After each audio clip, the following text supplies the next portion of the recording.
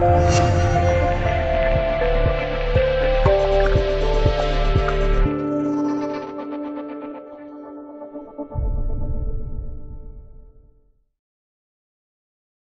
们常说，人离开了世界，总要落叶归根。无论我们在哪里，家永远是我们的归宿。在二零一三年的时候，韩国总统主动提出把韩国军方管理的三百六十具中国军人遗骸于朝鲜停战六十周年送回中国。所以，直到现在，在抗美援朝战争中牺牲的志愿军烈士遗骸才回到自己的国家。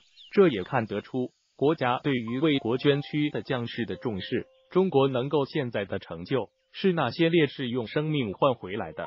直到现在，我们都永远不会忘记他们为了保家卫国，与日本鬼子展开了厮杀。对于日本的罪行，国人一辈子都不会忘记。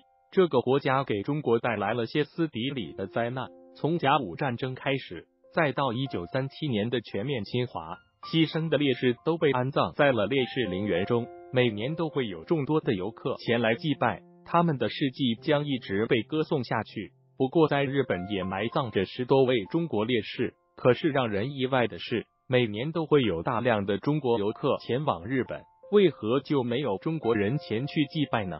众所周知，在甲午战争中，我国的北洋水师号称亚洲第一，可是因为某些原因，最后败在了日本的手里。甲午战争的失利。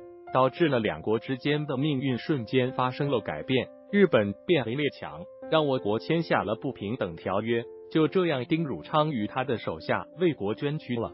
但也有一部分人被日本人扣押，最后沦为了俘虏。日本人将我国的多名战士带到了日本本土，进行了凌辱，最后残忍的被杀害。这些战士牺牲以后，日本将他们埋葬了。而且还在他们的墓碑上刻上了让人怒发冲冠的俩字“俘虏”。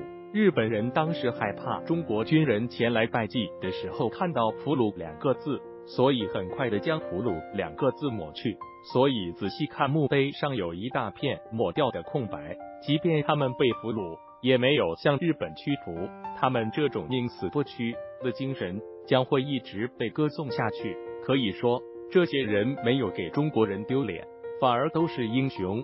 这些中国军人墓地分别位于日本大阪和广岛。大阪的真田山陆军墓地一共有六个中国军人墓地，分别是刘汉忠、西方枕、吕文凤、杨永宽、刘启的、李金福。据悉，之前在这些中国军人墓碑上都有大大的屈辱性的文字“俘虏”，而且处处显示了日本军人能打，而中国军人的软弱。这对死者而言，无疑是极其的不尊重。值得一提的是，一百多年过去了，他们的墓碑没有多少中国人去过，直到二零零三年的时候，才被我国的一位留学生看见，最后才被知晓。近几年，中国游客来到日本越来越多，希望那些在日本游玩、疯狂购物的中国人可以抽出一点时间看看他们，让这些在异乡的军魂不再孤单。虽然墓碑上刻着“俘虏”俩字，但是他们无愧于中国军人，他们的在天之灵知道中国变得强大了，一定安息的。